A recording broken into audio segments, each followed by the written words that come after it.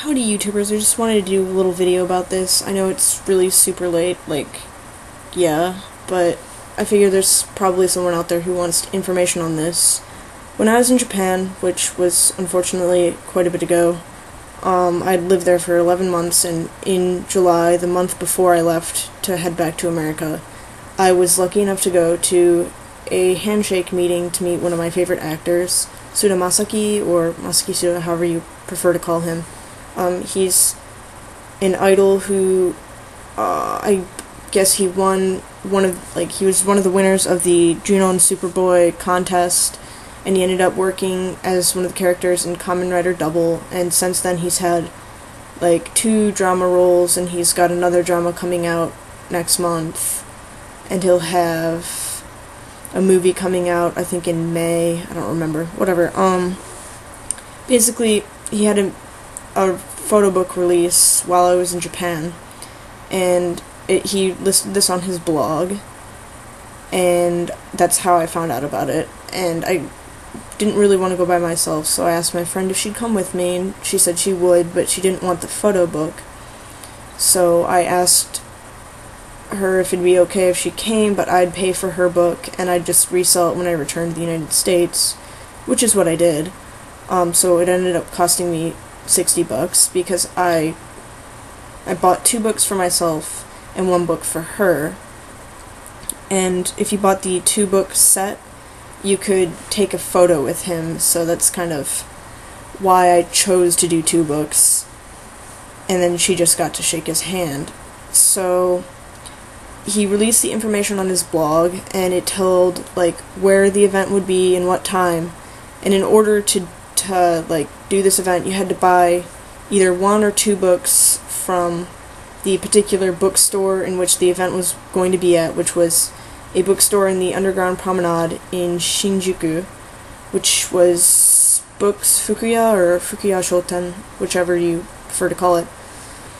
Um, so I I called the store to make sure that they still had tickets left before you know spending money to go out to Shinjuku and get the tickets themselves you get these little slips of paper saying like you bought a two book set or whatever.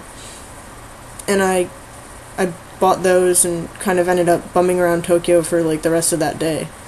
And that was like a week before the event, so you don't really have to rush on all the events that, that go on. This one maybe was a little special because it was a book like you had to buy merchandise in order to go to the event, so they're okay with people not paying for the event until the day of the event. Um, it's basically however many books they have is however many tickets they have.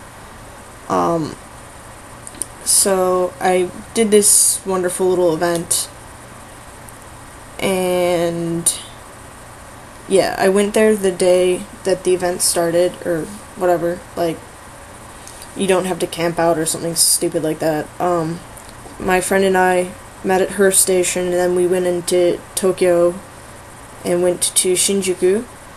And I kind of led the way because I already had been to the bookstore once and just kind of waited around until it was our tur- turn to move up in the line. They usually do it by 50 people, or at least at that event that I was at, they did it by 50 people. So they had 1 through 50 up first in line, and then, you know, eventually got to my group, which was like in the 700s. Quite a while, basically. But, um, I got into line and waited for an hour and a half or so because we'd just been wandering around until the 700s started getting called. And, um,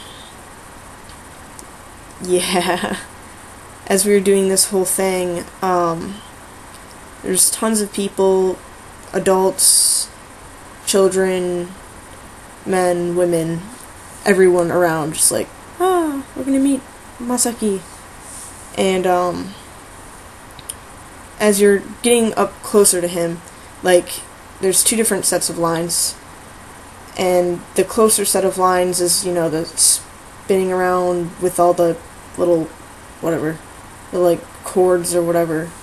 And as you go in to meet him, you have to put your bag down, and you can't have your camera with him or with you. So he's in kind of a little man-made room thingy that they can take down made of like these wall movable walls, and they have it set up so that you can't see him until you turn this corner after you've put your bag down and stuff. So you go in, and in my case, I got to shake his hand, and you know, I attempted to talk to him, and then he introduced himself and said, "Nice to meet you" in English, which was really cute.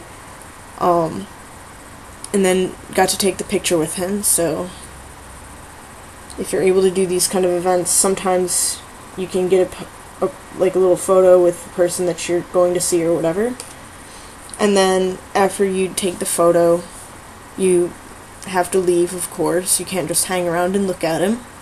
So you receive your book. They will probably give it to you in a bag, as they did with me. Um, and then after that, I just kind of bummed around Tokyo. I actually headed out to Ikebukuro with my friend after the event and whatnot. But, you know, if you ever want to try to go to one of these ways to meet an idol that you like, um, perhaps if you follow their blog or if you read their website or, you know, do a, tra- a Google Translate on their website, it will pop up if there's some sort of event. They'll they'll mention it definitely so they can get people coming. Um, I don't know about other events, but this event that I went to, you had to buy merchandise in order to meet him. You couldn't just randomly meet him. You had to buy merchandise. Um, so other events may not be that way. I, I'm not really sure. This is the only one I've been to. But, um,